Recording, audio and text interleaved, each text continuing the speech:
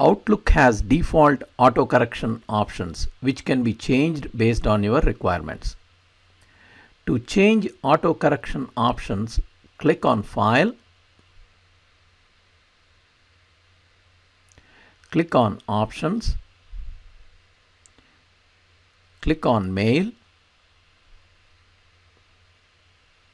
Now click on Editor Options button. Under Proofing tab, click on Auto Correct Options.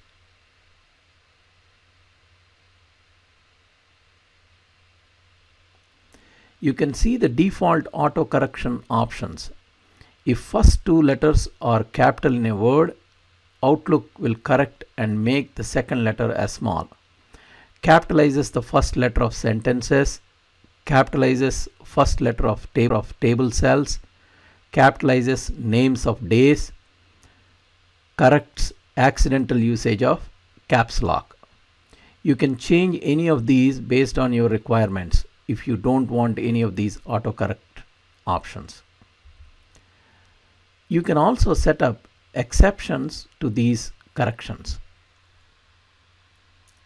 Click on exceptions.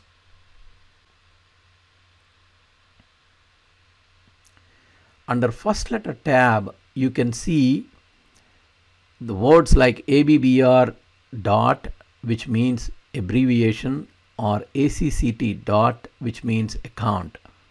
You don't want the next word first letter to be capital because it's not end of sentence. You can set up any other words not in the Outlook list by clicking here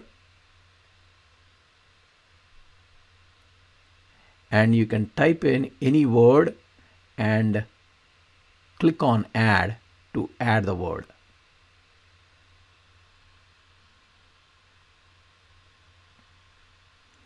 Similarly, click on Initial Caps. You can see Outlook has default word IDs which will not be corrected. You can enter any word you don't want Outlook to correct. For example, CVs. Click on Add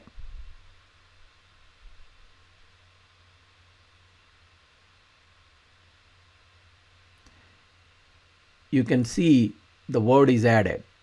Now in an email, if you type CVs, Outlook will not correct and leave first two letters as capital.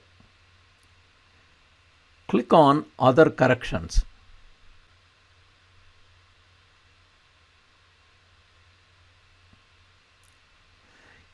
If you set up any word here, Outlook will not correct it when you type in email.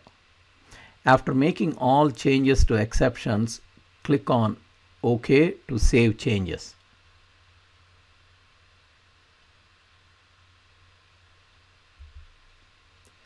You can see Outlook has Math Autocorrect,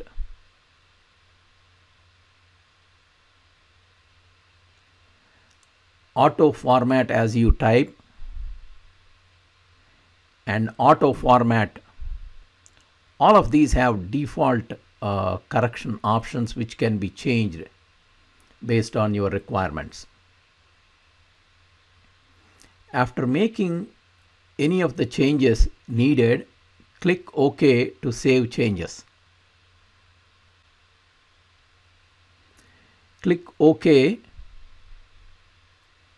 Click OK again to save the changes. If you like this video, please subscribe to our channel.